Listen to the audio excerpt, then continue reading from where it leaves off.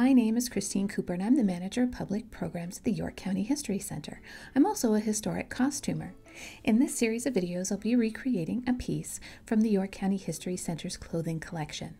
Before we get started though, let's learn a little bit about the collection and about the piece I will be reconstructing. The History Center has an extensive clothing collection of over 10,000 objects, including dresses, suits, baby and children's clothing, outerwear, and even undergarments. Our oldest pieces dating from the 1790s, and our newest, a prom dress made from duct tape in 2007. Clothing has always been a form of self expression, often reflecting world events and cultural changes. Let's take a closer look at one of the oldest pieces in our collection. This gown probably dates from the late 1790s.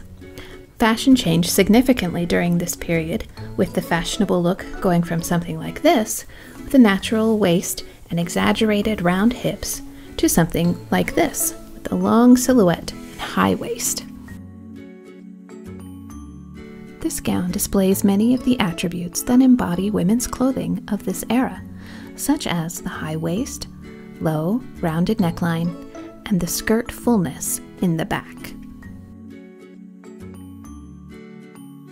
The gown closes with two drawstrings in the front, one at the neckline and the other at the waist. The bodice and sleeves of the gown are lined in linen, which is common for the time. The front lining pieces would overlap in the front for modesty. One of the things that make this dress really special is that it shows evidence that it was refashioned from a dress, probably made in a different style. Some of the clues are the fold lines on the sleeve and the pinpricks on the skirt front. This was a common practice, as materials were expensive. This garment must have been well loved because she has several issues, not only caused by age but by wear. There are a few holes extensive staining on the skirt, both front and back, and discoloration from perspiration and even perhaps light.